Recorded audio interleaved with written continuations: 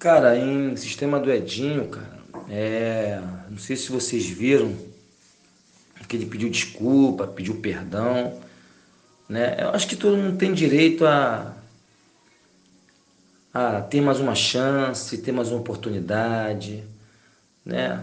Não custa nada ser misericordioso e eu tenho certeza que a torcida do Inter é assim, tá? É bem a cara do, do Colorado isso, né? Na hora a gente fica meio. Não é triste, a gente fica pensando pô, o porquê disso.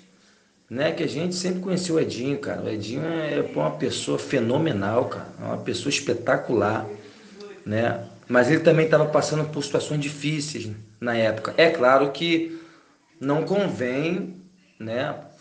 Por dizer aquilo que ele falou.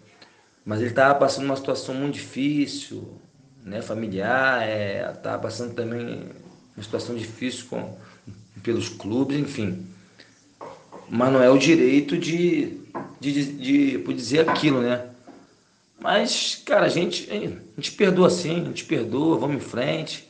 Se a gente olhar para trás, pô, tem, tem muita gente que erra, falha em muita coisa e a gente perdoa com o maior prazer, né? Sem medo de ser feliz. É aquilo que eu penso. Todo mundo tem direito de errar, mas também tem direito de, de se consertar, né? Depende da pessoa.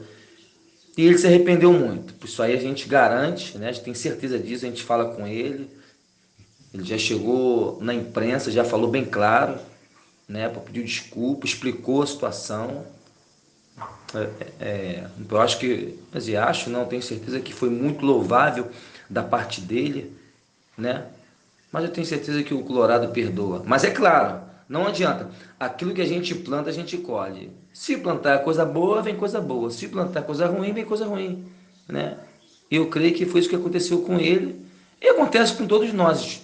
Mas a gente tem que analisar e ver direitinho o que a gente fala, né? Mas enfim, mas a gente perdoa sim. Como a torcida colorada, eu creio que a maioria perdoa.